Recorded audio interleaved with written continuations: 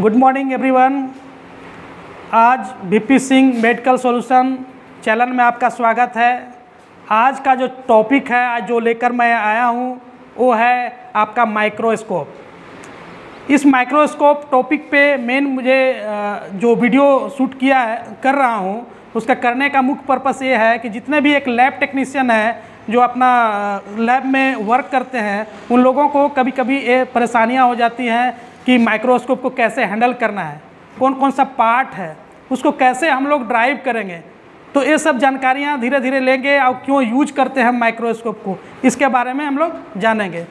तो microscope topic में mainly हम लोग माइक्रोस्कोप का मतलब ही होता है माइक्रो मतलब छोटा।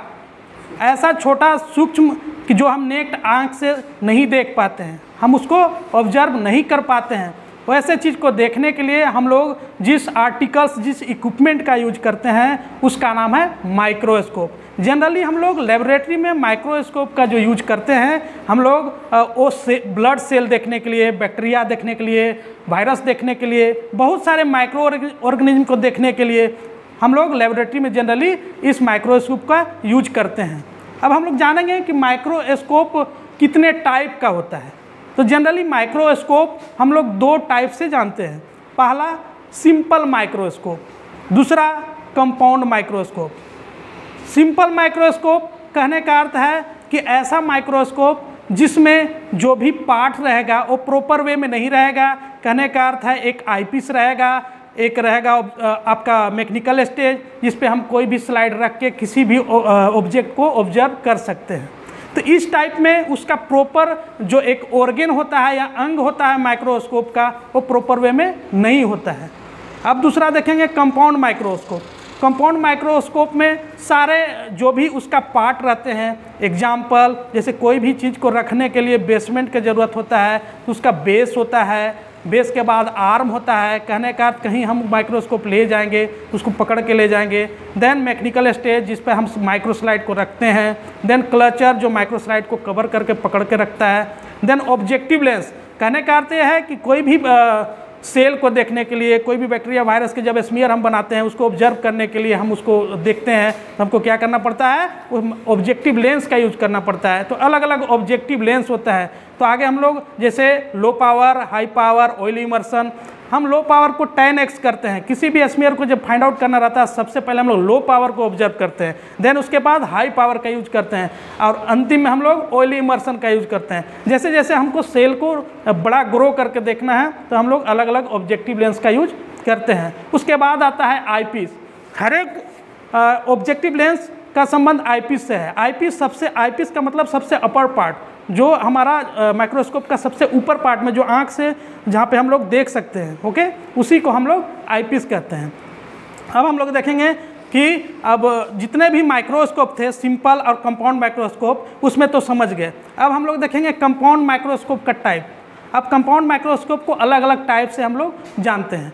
जैसे electron microscope fluorescence microscope phase contrast microscope अलग अलग ऐसे माइक्रोस्कोप हैं जो कंपाउंड माइक्रोस्कोप के अंतर्गत रखा गया है। जिसमें अलग अलग जो भी माइक्रो ऑर्गेनिज्म होता है, उसको हम लोग फाइंड आउट करते हैं। जनरली अभी हम लोग देखेंगे बोर्ड पर जो ड्राइंग किए हैं, वो किस टाइप से हमने पुट किया है।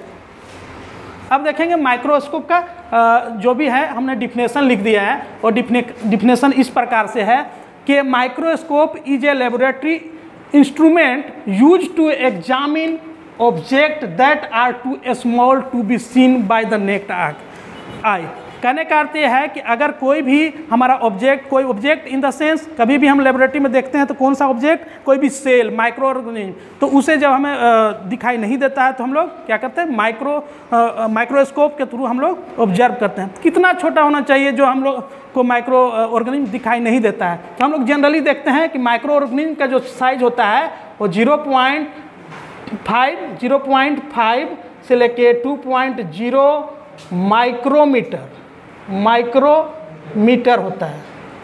Okay?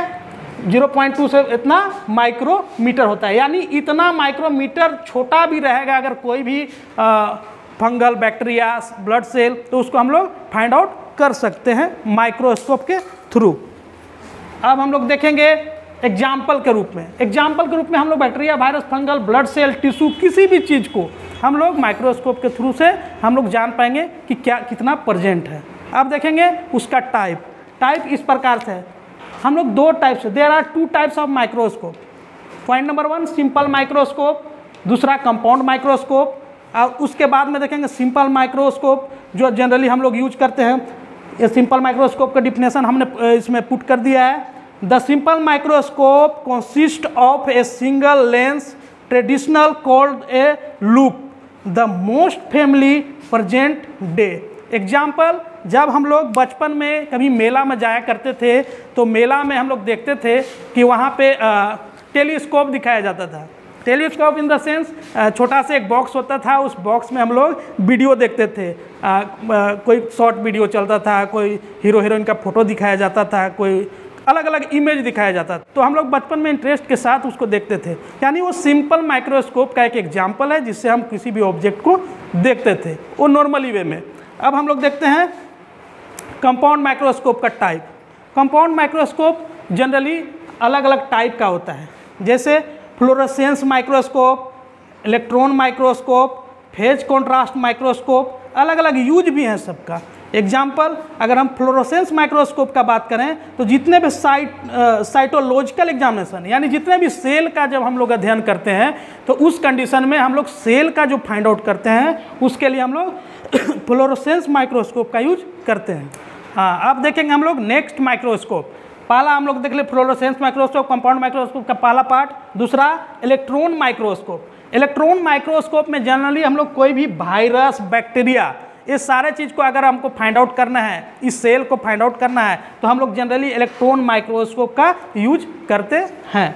Next point phase contrast microscope अगर फ़ेज़ कॉन्ट्रास्ट माइक्रोस्कोप का मतलब हो गया, अगर किसी भी स्लाइड स्मियर को हमको फाइंड आउट करना है, और अगर कोई भी सेल का बैकग्राउंड डार्क हो, यानी अंधेरा हो ऐसा हम इमेज दिखे, उसको हम लोग क्या बोलते हैं? फ़ेज़ कॉन्ट्रास्ट माइक्रोस्कोप इसका डार्क डार्क अपियरेंस होता है। डार्क कलर का वो दिखाई देता है। अब देखेंगे हम लोग कि जैसे कंपाउंड माइक्रोस्कोप हम देखते हैं।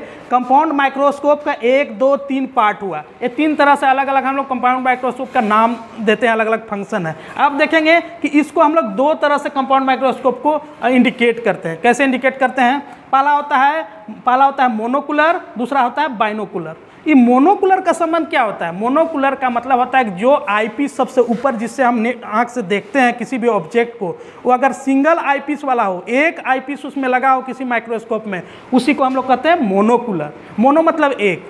देन अगर कोई भी माइक्रोस्कोप में डबल आईपीस लगा हो तो उसको हम लोग कहते हैं बाइनोकुलर इस टाइप से हम लोग माइक्रोस्कोप कंपाउंड माइक्रोस्कोप को हम डिनोट करते हैं।